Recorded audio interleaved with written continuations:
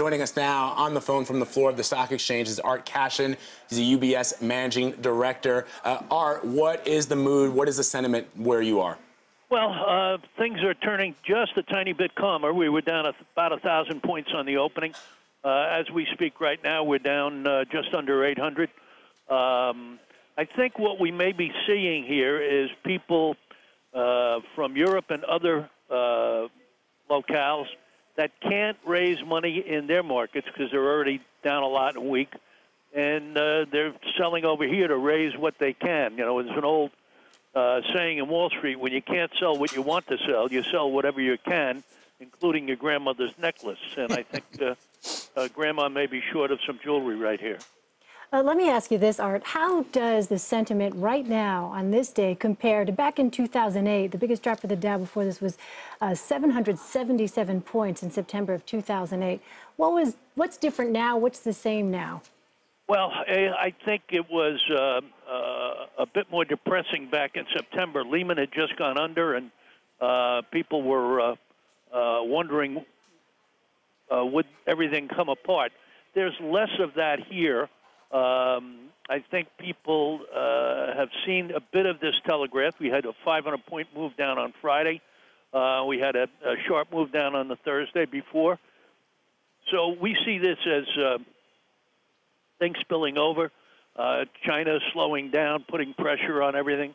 Their devaluation uh, sent the currencies of all of the emerging markets, the, the small Asian tigers around them, uh, into near free fall. And all of that tends to spill over. And, and lastly, and perhaps most importantly, uh, in recent weeks we have learned that U.S. mutual funds have the smallest amount of cash that they'd ever have in history. So they were basically fully invested.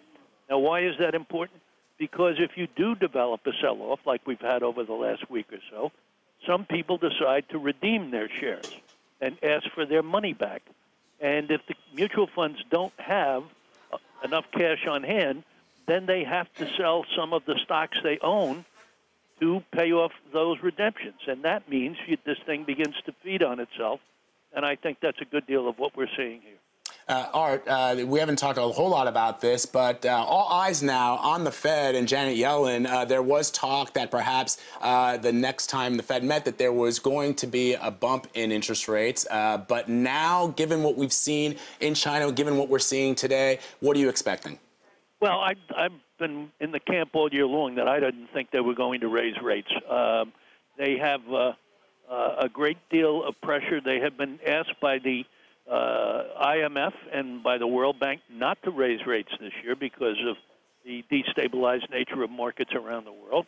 And that's that's a pretty tough thing to overcome because if they did raise rates and something happened, for example, if they had raised rates and we have a couple of days like this, they would have great credit credibility problems. People say, "Look, you were warned.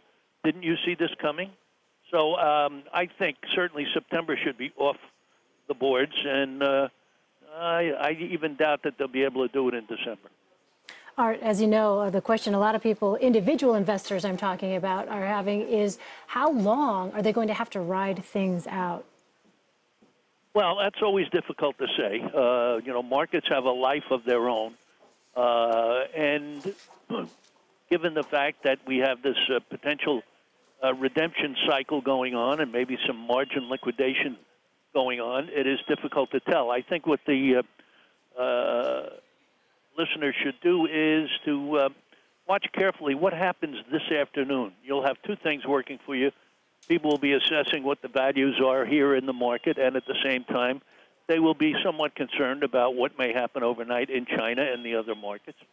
So you'll look at the market itself and see how that balances out. Do they manage to have a bit of an intraday uh, reversal and uh, perhaps close with some strength. Not necessarily up on the day, but cut the losses substantially.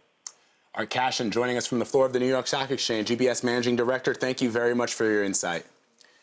If you're just joining us, the market down 3.89% as we speak. We've been tracking it all morning. We're going to keep tracking it into the afternoon. Stay with us. We're going to take a quick break.